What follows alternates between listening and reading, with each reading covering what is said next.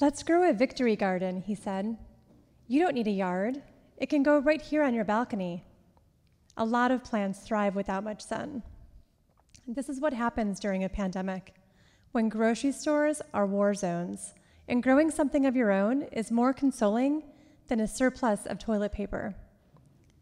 He and I were hunkering down, together again, after so many past attempts. Maybe this time, when the world is standing still, we would finally bloom.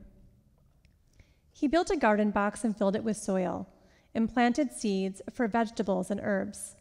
While waiting for the sprouts to break through, we made soups and did living room yoga. But even with careful watering, nothing took. A tiny bud of green would emerge, then wither. Maybe we should try chard, that does well in shade. The soil might be the problem, nematodes will help. Almost too soon, the world was waking up. With new antibodies in our veins, we visited wineries and ate pizza in the park with friends. I boarded a plane to see family 2,000 miles away. Far from home, nausea consumed me, a feeling I'd known from a younger time. The drugstore test confirmed my fear. New life was growing inside me. I'll keep growing it, I said, even though this is not my dream, even though I've been feeling too rested and free to become a new mother again.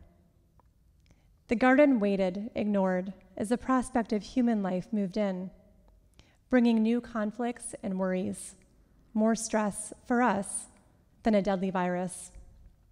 And under that weight, we crumbled, as we'd done before, but with greater force.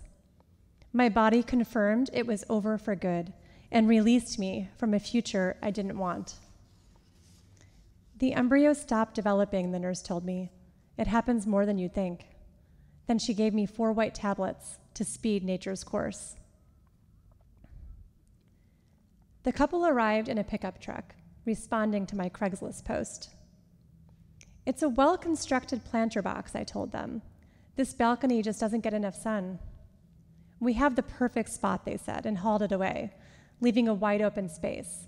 Space I'd forgotten I had. I swept away the remaining bits of soil, clearing way for my next phase of growth.